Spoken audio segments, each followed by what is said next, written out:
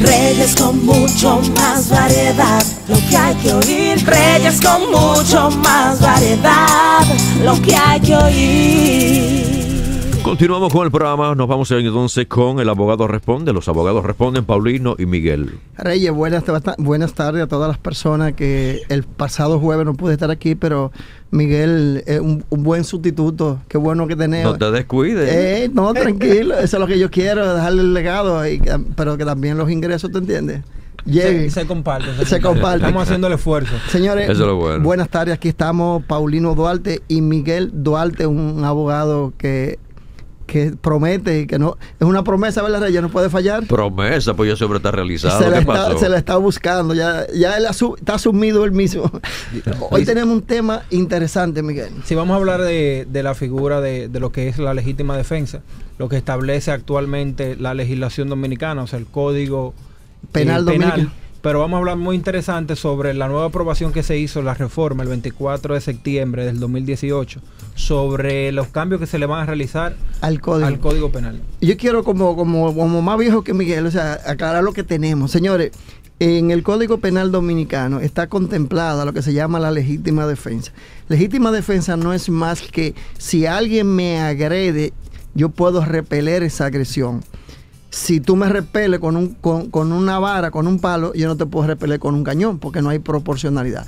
Esa es la realidad que se vive en la calle, pero el Código Penal Dominicano establece una legítima defensa para proteger el lecho familiar, para proteger el bien de la familia, la tranquilidad del hogar. Y por eso el código actualmente habla en el 328, 329. Así es. Que para que yo pueda cometer un crimen y no ser juzgado por eso, porque fue una legítima defensa, tiene que introducirse en mi casa en primer término de noche, con escalamiento o rompimiento de puertas, paredes, eh, ventanas, uso de arma y que sea en casa habitable. Oye bien, actualmente o que dentro de ese mismo tipo de robo... Que sea una defensa a una agresión por un robo o por un hecho violento o fullería, como dice. Pero tiene que ser dentro del domicilio. Entonces, el nuevo código que fue anulado y que se fue revisado por el asunto de, que aprobó el aborto y lo, lo, anularon, ahora hay una nueva propuesta de modificación que fue aprobada en el Senado el 24 de septiembre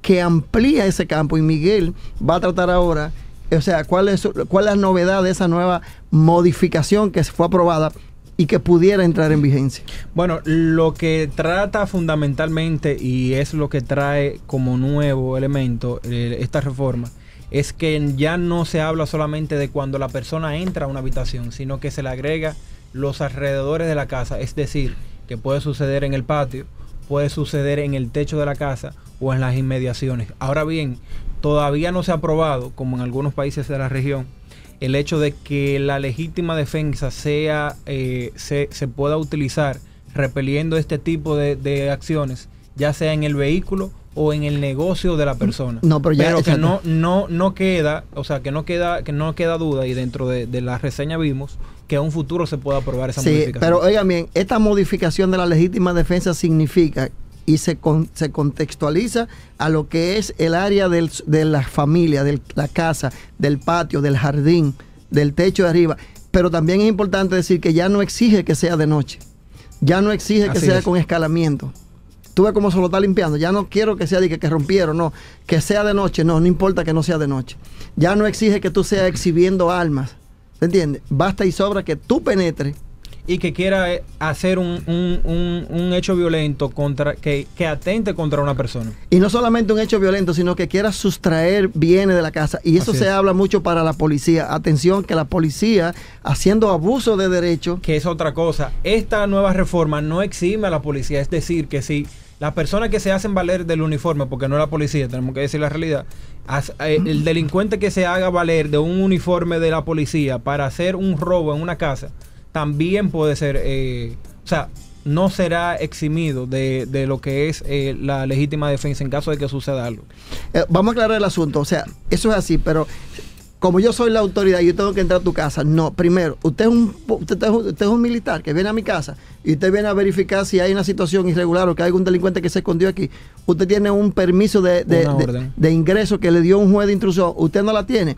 Le pudieran, si la persona se, se revela y tú lo invitas a salir no quiere y tú ves que aquí lo que quiere es sustraerte, entonces la ley dice que en ese caso, si usted le da muerte a esa persona, esa es una legítima defensa.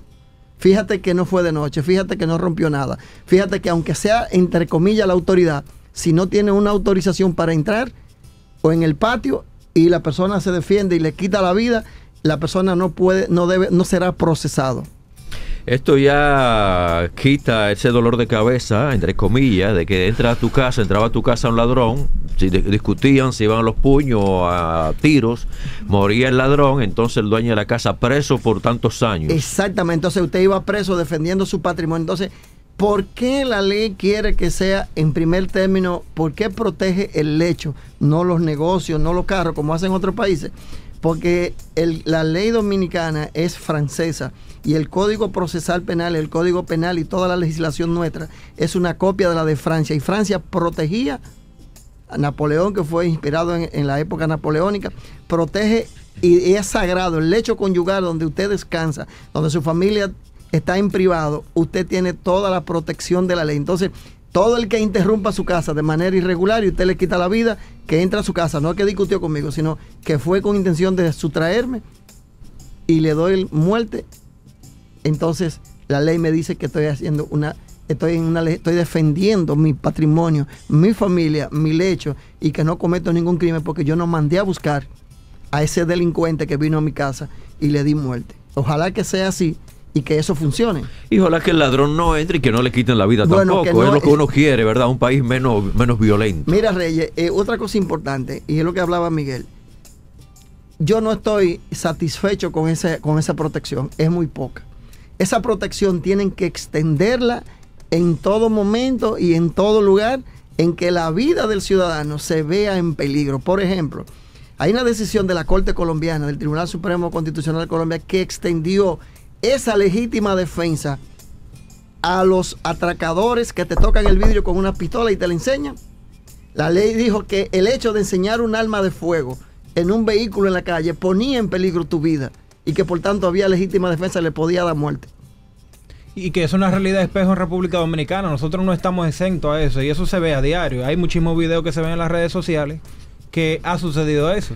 Bueno, ahora mismo me contaron, ahora hace un minuto que me contaron una historia de un show que, que se dio Entonces, algo parecido. cuando tú haces eso ahora mismo actualmente en República Dominicana y nada más en la casa, tú no, la ley te acoja. Entonces, si vamos a modificar la ley, senadores y diputados, que por fin estamos está haciendo algo bueno por el país, contemplen, abran ese espacio de esa legítima defensa. En todo momento en que la vida de esa persona, por un delincuente que ve en una motocicleta, que le toca, le enseña un cuchillo a una mujer, a un hombre, le enseña la pistola, Dice la ley que desde que usted articula un efecto contra la paz de la otra persona que puede poner en peligro la vida y usted repele esa agresión, ahí hay una legítima defensa. Así y por es. tanto no comete delito. Eso en Colombia, ¿verdad? Eso es actualmente en la Corte Colombiana y queremos que se amplíe para poder controlar estos cacos. Bueno, aquí no solamente en este tiempo, sino ya de hace varios años está sucediendo a nuestra señora que trabaja aquí en consulta consular, doña Cándida, en una ocasión ahí en la Roberto Pastoriza, un señor ahí, un semáforo, estaban ahí con un lente oscuro, al final entró una compañía, buscó un paquete, en el, en el parqueo entró, le enseñó un arma, deme todo. Exacto, y le quitaron todo. Y en, los, pa- y en los tapones aquí se, se origina eso también. Que de hecho por eso surgió y creo también que, que esa decisión que se tomó, eh, no sé si fue el Intran, ya con la entrada del Intran o, el, o lo- los AMET, con el tema de los tintados de los vehículos. O sea, nosotros estamos en una situación que muchas veces uno se siente desprotegido cuando anda con un vehículo que, ten- que tiene los cristales claros. Y eso pasa mucho porque el delincuente que anda en la calle puede ver qué hay dentro del carro y ahí cometer el ilícito. Entonces, eh, yo que estamos avanzando, Reyes Guzmán, es una manera, saludamos esa medida, seguimos, tenemos que seguir ampliando el, espectro y el código penal que modificaron, que anularon, que fue excelente, hablaba de que también esa legítima defensa se extiende si habiendo robado en mi casa, sale corriendo con un arma y yo le caigo atrás le doy muerte en la calle, también se asimila como parte del radio de la casa. Es decir, le di muerte fuera cuando lo alcancé, que se iba, y le da muerte a esa persona, también se considera una legítima defensa. Igual es el hecho de que si yo voy por la calle y veo un delincuente que está violando a una anciana o que le va a quitar la vida a una madre con su niño y quiero evitar ese hecho y la persona me, quiere agredir y yo le quito la vida, eso es legítima defensa. Tenemos una reacción, Reyes. Bueno, vamos a ver entonces las llamadas. Hola, muy buenas. Bájame un poquito el volumen, por favor. Que bueno. sí, baja el volumen. Un momentico. Mientras favor, me baja el volumen, te pueden marcar 809-683-8790, 809-683-8791 y 809-200-7777. Dígame ahora. Bien. Eh, mi pregunta va al tema de los escenarios. Sí. ¿Qué pasa? ¿Qué ocurre? Por ejemplo, hay un escenario donde a ti te embargan. Tú tienes que verificar. Luego el caso de que, porque es lo más común, que van a tu casa un militar con un fiscal y, y lo debido correspondiente, verificar si el documento es legal y si es algún acto oficial, porque hemos escuchado muchos casos que van, te van a embargar, pero alguna vez la persona ni da tiempo a que le presenten el documento. Ese es un caso.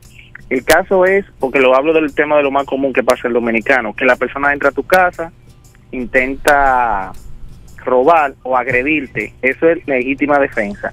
Y el último que usted mencionó del caso de cuando en la calle pasa el acto y tú intentas defender a otro, porque ese es también otro muy común que está ocurriendo y escucho por radio. Gracias. Eh, eh, veo aquí mucha gente que está reaccionando. Número uno, recuérdese lo que hemos dicho. Si va la autoridad con la fuerza pública y el fiscal a hacer un embargo, ese no es un robo y usted no hay legítima defensa per se por el hecho de que me estén sacando los ajuares de la casa. No es un robo. Ese no es un robo y usted no puede alegar legítima defensa. Ahora bien, si usted estando en su casa, el alguacil o el notario, además de embargar, le va arriba con una pistola y usted se defiende, ahí sí.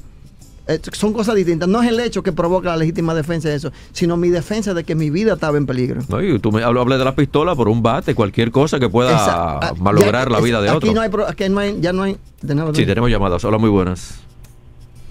Buenas. Buenas. Sí, Sí, buenas tardes. sí, gracias. Aprovecho los abogados. que es pregunta? primeramente para felicitarte por tu programa y que siga cumpliendo muchos años más. Muchas gracias, muchas gracias. La pregunta es la siguiente para el doctor, es aparte, es otra pregunta.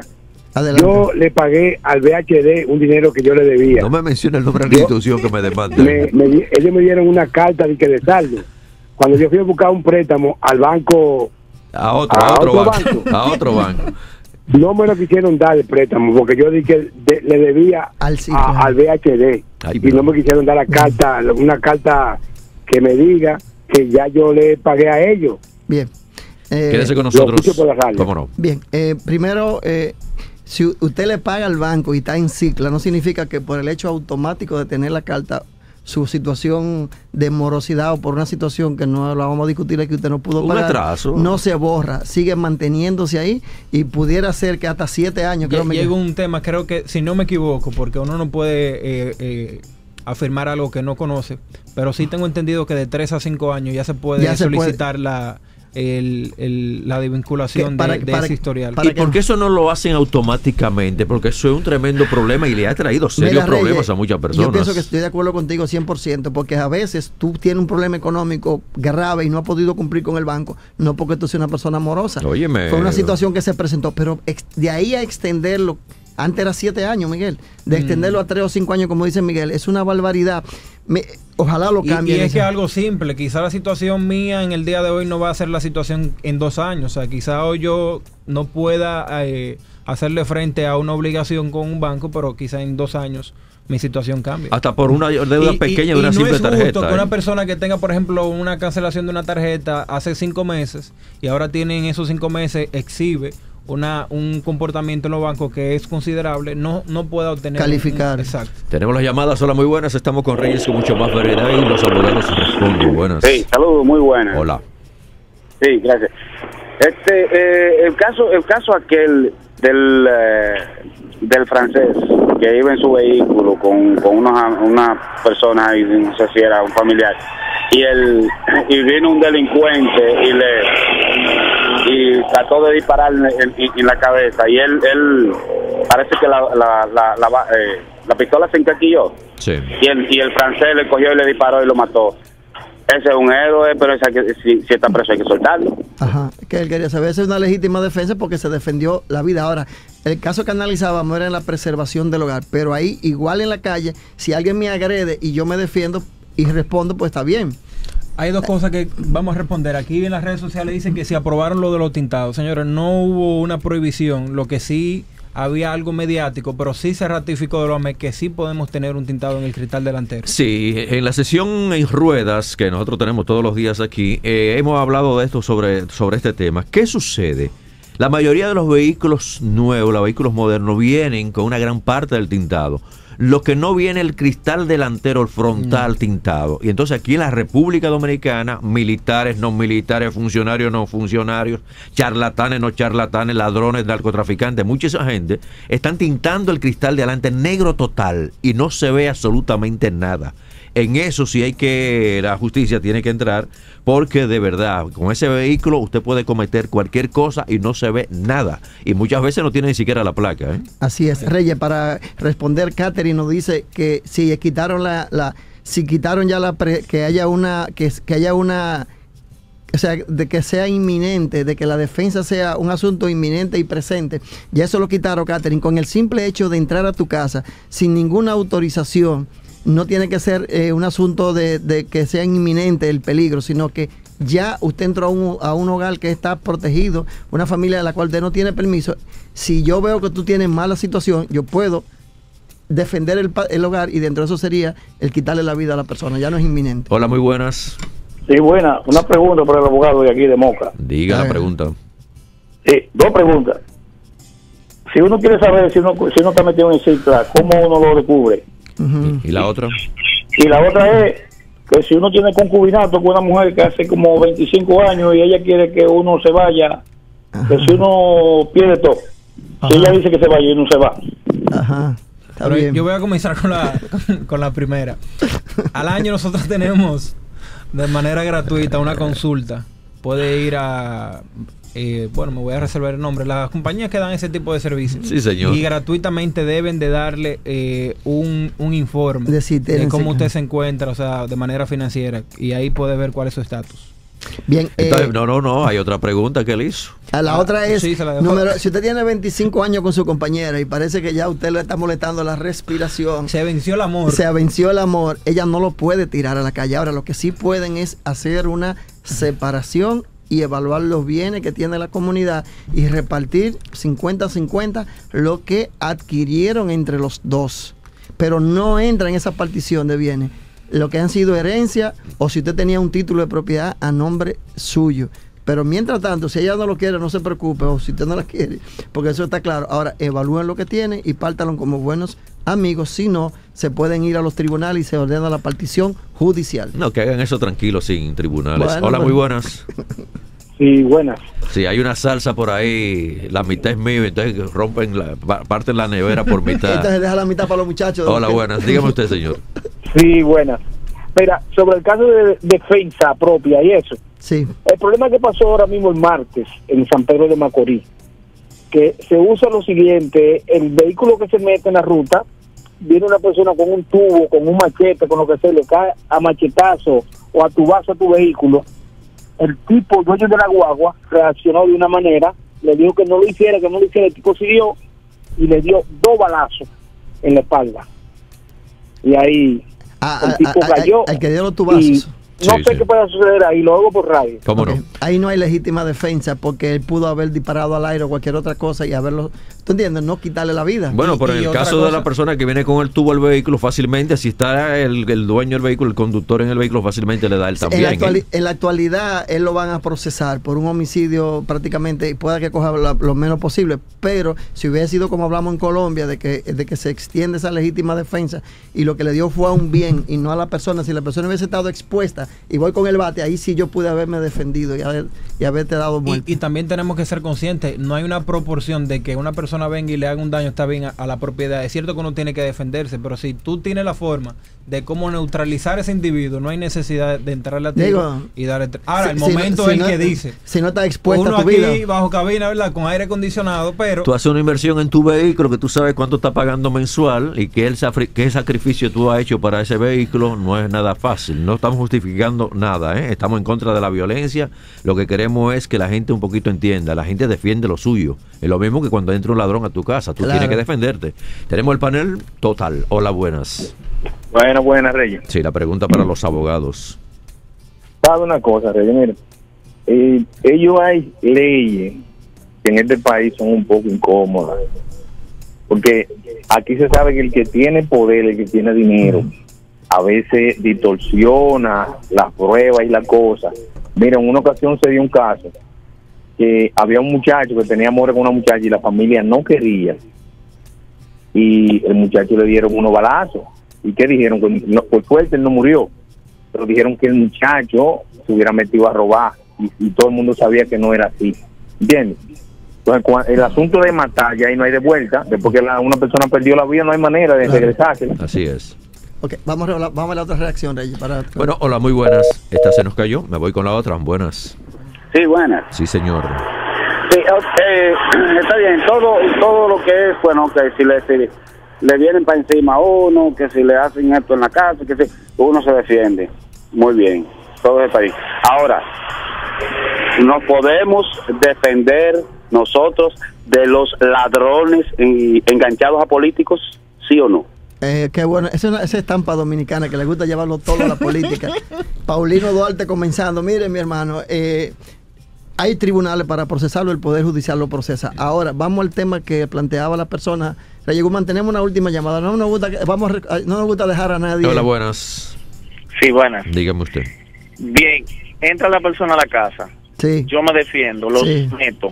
Pero la turba de gente afuera quiere asesinarlo. ¿Qué pasa en ese caso? Ya ese no es tu problema porque la gente va a ver que no fuiste tú que lo linchaste, sino la turba. Ahora, no hay problema en ese caso. El caso que tú planteabas, que yo quiera decir que el novio de mi hija era un ladrón y le quité la vida. Todo el mundo conoce y sabe la historia de que ese joven visitaba la casa y que era el novio de mi hija. Y eso se va a probar por todas las vías. Eso no sería cuestión de dinero para hacerlo, sino que es una realidad tan grande que no la puede ocultar porque si tenía amores con la hija mía hasta en el colegio se veía. No, y estaba Eh, hablando por teléfono también. Exactamente, así que no hay problema con eso. Luz, María, gracias por la por tu apoyo. Y hay una pregunta que decía, Catherine nos preguntaba, y, y la repeliendo una fuerza exterior. Catherine, si tú repeles una fuerza exterior que no, que no estaba que no tú no la tenías prevista, pero que fue para poner en peligro tu patrimonio, igual vale en el hogar.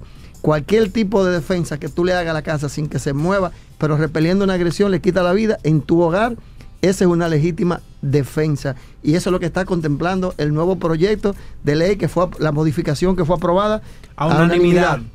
Bueno, así en coro como ustedes, padre e hijo, entonces le doy las gracias a ambos. Gracias con ustedes la próxima semana. Bueno, se nos fue el tiempo, señores. Estaremos el próximo jueves con otro tema interesantísimo. Cualquier duda que les surja, no duden en, conca- en contactarnos al 809-686-6841 por las redes sociales como Duarte y Tejada, eh, por Instagram a P Duarte Abogado y un servidor M Duarte Consultor. Reyes con mucho más variedad, lo que hay que oír. Reyes con mucho más variedad, lo que hay que oír. Reyes con mucho más variedad, lo que hay que oír.